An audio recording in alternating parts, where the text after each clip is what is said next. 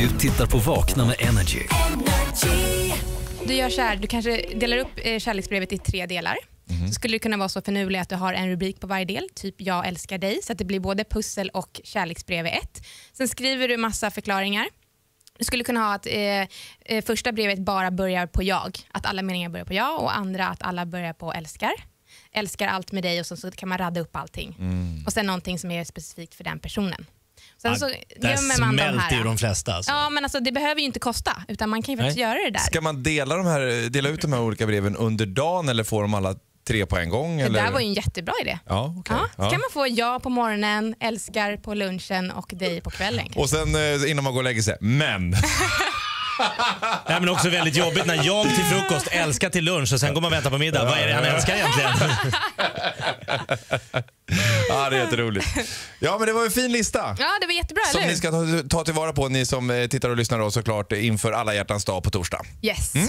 Nu ska vi ta lite frågor. Eh, Det är alltid väldigt många som undrar massa saker. Ska vi börja med något, Jakob? Ja, det är ett spännande ämne. Madeleine Sandor frågar så här. Bör jag förvänta mig att min kille ska hitta på något på alla hjärtans dag eller ska jag ta tag i det själv? Ja, det ska hon. Varför ska hon förvänta sitta och sig. förvän- Nej, men varför ska hon sitta och förvänta sig att han ska göra någonting? Ah. Hon kan ju ta tag i det själv. Så hon inte sitter och blir besviken. Nej, och han kanske gör någonting också. Ja. Alltså det handlar inte bara om att killarna ska göra, tjejerna ska också göra. Men är det inte ofta väldigt traditionstyngt detta? Att det killen ska uppvakta? Det där är en generationsfråga. Ja. Så att eh, 80-90-talisterna absolut inte. Där Nej. tror jag tjejerna är precis lika bra. 40-talisterna kanske.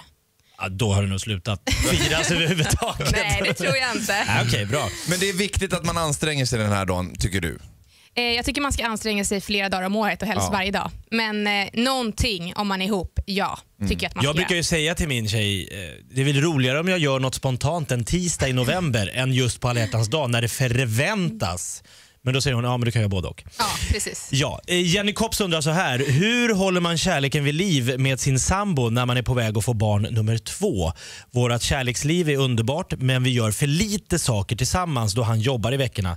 Vill ha tips på hur man kryddar upp kärleken till max. Oj, till max. Ja, det ska koka. Ja, eh, det kanske inte är så lätt att det ska koka när man har två barn. Men hon sa ju eh, lite bra saker där själv. Det här med att man faktiskt måste göra saker tillsammans. Där har hon redan hittat liksom, den första nyckeln. Och då får liksom, någon gång får han ta ledigt eller så får de satsa på barnvakt. Många som har små barn vill inte lämna ifrån sig barnen.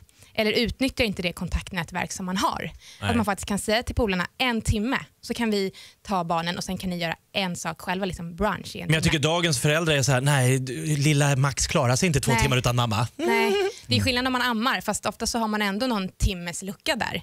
Just det. Så att jag tycker att man ska försöka En våga lunchdate. det mer. Ja, Så, så lite som en timme kan räcka för Ja, att boosta, absolut. boosta energi? Liksom. ja, en egen promenad i Mm. liksom vintersolen. Det är jättebra.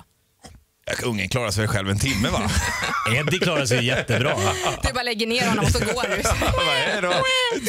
Ja, men det är väl när de blir några år äldre då kanske. Ja, såklart. Andersson, när man dejtar en kille och efter första dejten så drar han, sen inget mera. Det känns som man har blivit utnyttjad. Eh, vad kan man göra för att undvika att bli sårad?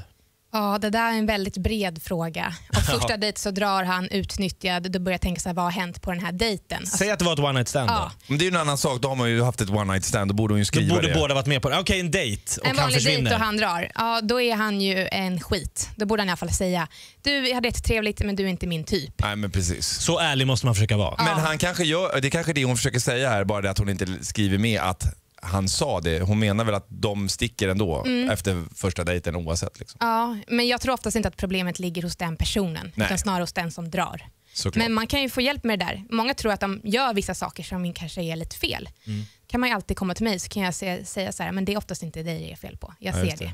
Så får man lite Bra. trygghet. Du tittar på Vakna med Energy. Live i kanal 5 och på radio.